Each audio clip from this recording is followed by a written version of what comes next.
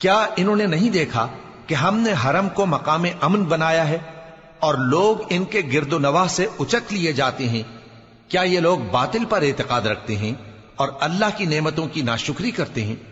और उससे बड़ा जालिम कौन जो अल्लाह पर झूठ बोहतान बांधे? या जब हक बात उसके पास आए तो उसकी तकजीब करे? क्या काफिरों का ठिकाना जहन्नम में नहीं है?